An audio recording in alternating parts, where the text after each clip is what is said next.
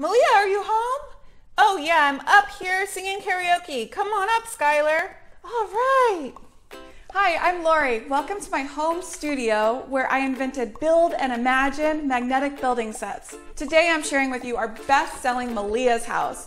This is a magnetic dollhouse you design yourself.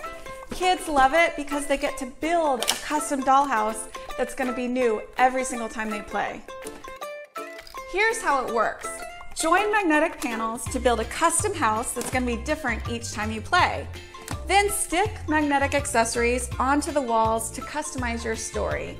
And dress the wooden characters and take them on an adventure. Building toys have been one of the hottest toy categories, and I just wasn't seeing enough out there that's really engaging for girls.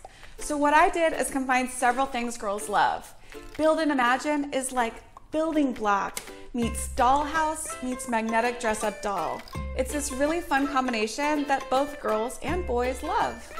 What parents tell me that they really appreciate about Build and Imagine is that instead of having this big bulky dollhouse taking up space in your room, Build and Imagine panels can collapse down into a nice neat little stack. And then these magnetic panels can be easily stored, you can travel with them, and this stack of magnetic panels can be built all these different ways for endless hours of imaginative play. With Build and Imagine, kids aren't limited to one design.